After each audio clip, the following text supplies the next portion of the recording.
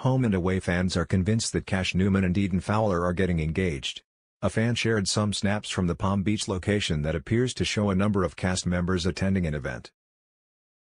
In addition to Cash and Eden, Mackenzie Booth, Tane Parata, Felicity Newman, Remi Carter, Bree Cameron, Rose Delaney, Xander Delaney and Dana Matheson were also seen smiling on the beach.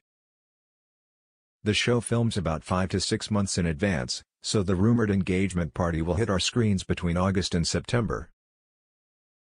Stephanie, who plays Eden, was recently seen wearing an engagement ring on social media so it looks like the pair are about to take a big step. I was thinking Cash and Eden get engaged. Stephanie looked like she was wearing an engagement ring in the video she posted of herself and Tristan dancing the other day, the fan guessed. Will Home and Away's Cash and Eden make it down the aisle? It's unlikely there will be another wedding this year, as the show already had a big budget wedding between Leah Patterson and Justin Morgan just recently. Summer Bay is notorious for breaking couples up and killing characters off, so the chances of a happy ending seem to be slim.